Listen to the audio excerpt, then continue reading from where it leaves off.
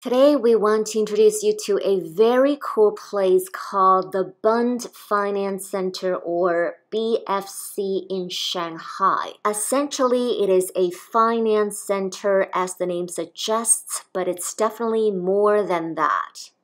As you can see by its decor, it is quite artistic and it's got a huge fountain in the middle of it.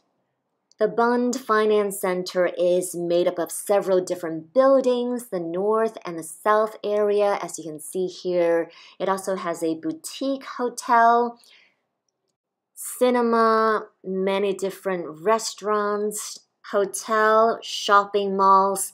This is the most eye-catching building of the center is the Fosun Foundation where they would host performances, conferences. Currently, there's an art exhibition by famous Japanese artist Yayoi Kusama.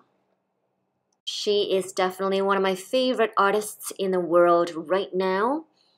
This is her signature dotted pumpkins, and her art continues inside the cafe as you can see. Beautiful.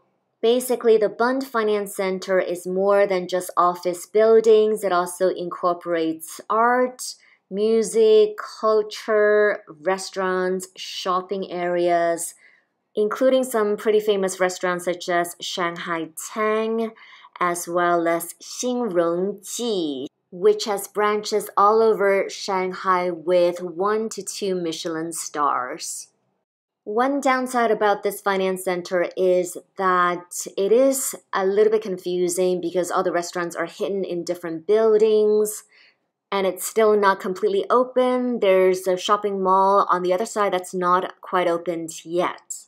In summary, this is a pretty interesting place to explore, and I'm sure it'll get better as more restaurants, bars, and shopping malls open. Anyway, I'll shut my mouth and let you enjoy the rest of the video. If you like this video, please give us a like and also please subscribe to our channel. Thank you so much for your support.